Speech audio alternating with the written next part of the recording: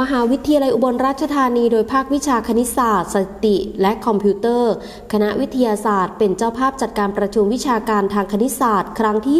28 ประจำปี 2567 ภายใต้หัวข้อ คณิตศาสตร์ ภายใต้การเปลี่ยนแปลงโลก Mathematics in a Changing World ระหว่างวันที่ 29 ถึง 31 พฤษภาคม 2567 ที่ผ่านมา โดยมีรองศาสตราจารย์ ดร ชุตินันท์ประสิทธิ์ภูริปรีชา อธิการบดีมหาวิทยาลัยอุบลราชธานี เป็นประธานเปิดการประชุมวิชาการทั้งนี้เพื่อให้เกิดการเผยแพร่องค์ความรู้ และผลงานวิจัยทางคณิตศาสตร์ คณิตศาสตร์ศึกษา สถิติ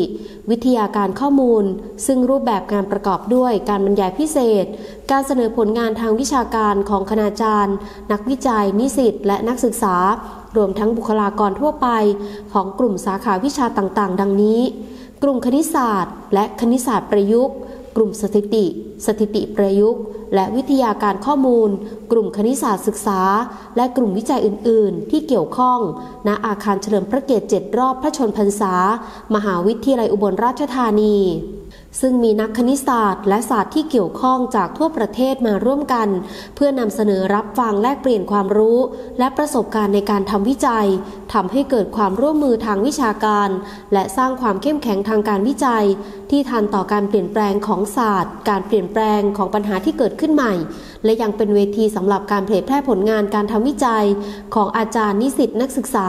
จากสถาบันการศึกษาระดับอุดมศึกษาทั่วประเทศ และทางคณะวิทยาศาสตร์ มหาวิทยาลัยอุบลราชธานี ได้ส่งมอบธงคืนสู่สมาคมคณิตศาสตร์แห่งประเทศไทย ในพระบรมราชูปถัมภ์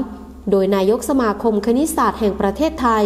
ในพระบรมราชูปถัมภ์ส่งมอบต่อให้มหาวิทยาลัยศรีนครินทรวิโรธเพื่อเป็นเจ้าภาพจัดการประชุมวิชาการคณิตศาสตร์ครั้งต่อไป